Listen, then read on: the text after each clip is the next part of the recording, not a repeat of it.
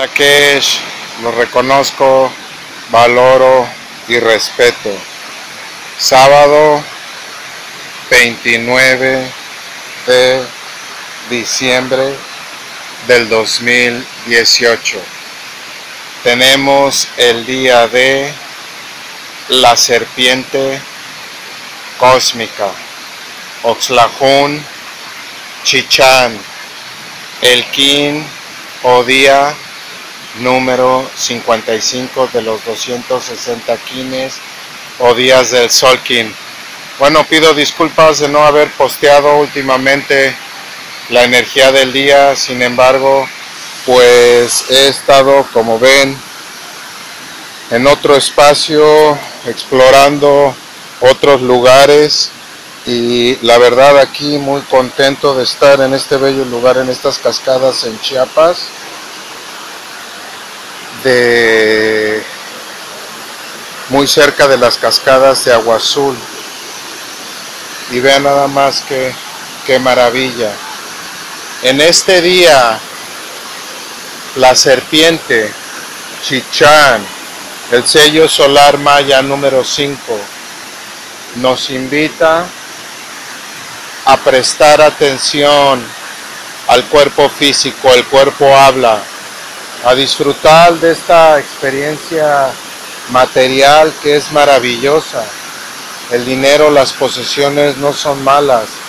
conflicto se da cuando nos apegamos un buen día para disfrutar lo terrenal, para usar el instinto, pero evitar reaccionar a las situaciones, responder la mayoría reaccionamos a las situaciones emocionalmente, cargadamente, responder conscientemente, canalizar nuestra energía kundalini, canalizar nuestra energía vital. Es muy importante no confundir amor con sexo, etcétera.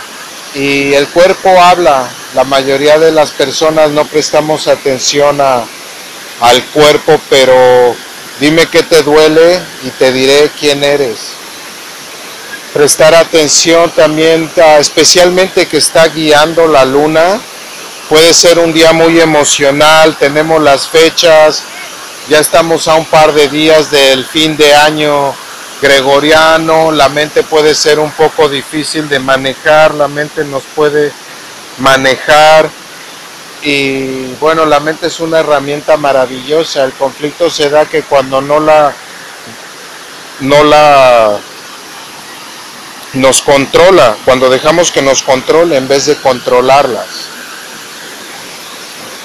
El tono número 13, que es el último de los tonos, que es el tono cósmico, Xlajun, que son las dos barras y los tres puntos en maya. Con este tono terminamos esta, esta onda encantada, esta trecena maya y vamos a comenzar la trecena maya onda encantada del enlazador de mundos que es mi trecena maya que es el desapego, el soltar y se da muy buen tiempo que coincide muy bien con el inicio de año gregoriano.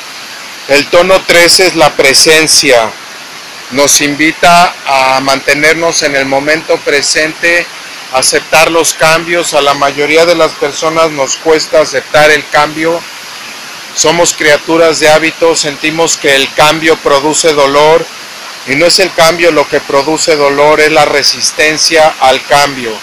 Aquello que resistimos persiste con la misma intensidad que lo resistimos. Por lo tanto, un buen día realmente para para fluir con el cambio, para mantenernos en el momento presente, en el aquí y ahora. Es el único momento. Pensar con exceso en el pasado es igual a depresión, en el futuro es igual a preocupación.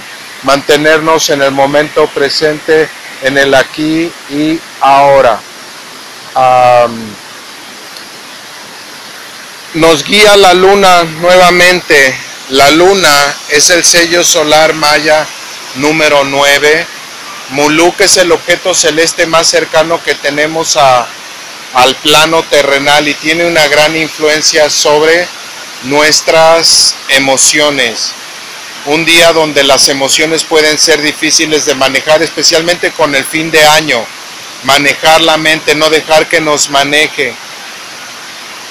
Un día para perdonar. Si queremos empezar el siguiente año de la mejor manera, en verdad hay que perdonar. Y al final de esta encarnación nos vamos a dar cuenta que no hay nada que perdonar, solamente hay entendimiento. Sin perdón no hay sanación, sin importar lo que hayamos transitado, es muy saludable el perdonar. Es el misticismo, es la purificación emocional, especialmente que estamos en un año de la luna cósmica. Estamos purificando emocionalmente y estos lugares son maravillosos donde hay mucha agua, porque el agua nos ayuda a limpiar y, y realmente limpiarnos, ¿verdad? Por ejemplo, en energía pránica con las manos, vamos limpiando la energía, la vamos soltando hacia el agua, pidiendo que se purifique. Y bueno, continuamos en en la onda encantada de El Caminante del Cielo, la onda encantada de Ben. El sello solar maya número 13, El Caminante del Cielo, nos invita a explorar, a viajar. Sincronizó muy bien con este viaje que estoy haciendo con mi amada hermana Adriana, maravilloso, una experiencia que nunca voy a olvidar y siempre voy a agradecer, en verdad.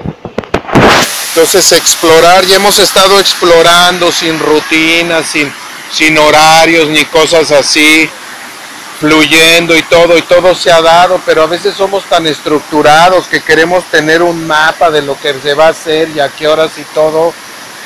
Y bueno, aprender a fluir y vean este hermoso lugar. Esto fue una sincronicidad, porque este día teníamos planeado más mantenernos en, en la cabañita porque hemos estado muy activos y pues sí he estado un poco cansado. Por eso no he podido hacer los videos, pero finalmente fuimos al, al Museo de Palenque. Vimos, voy a poner unas imágenes maravillosas y, y luego de ahí se encontró una persona que le dijo que viniéramos aquí. Yo no lo conocía, son las, las cascadas de Roberto Barrios y bueno, vean qué maravillosa el agua y todo, ¿no?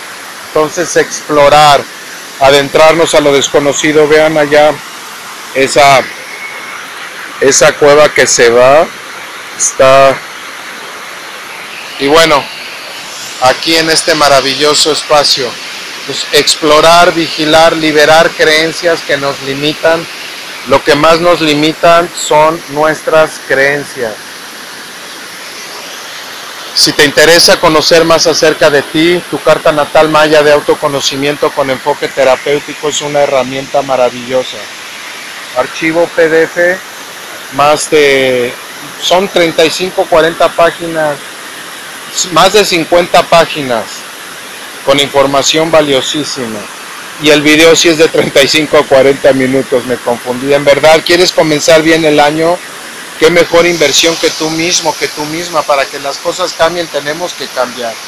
Y esta sabiduría ancestral se nos dejó para hacer uso de ella y conocernos. En la carta no te decimos qué te va a pasar, cuál es el futuro, si te están poniendo los cuernos, no. Es conocerte a ti para reconocer tu dualidad. Si te interesa, visita factormaya.com. Gratitud infinita, un fuerte abrazo en la que desde aquí, desde este bello lugar en Chiapas paradisiaco, compartiendo.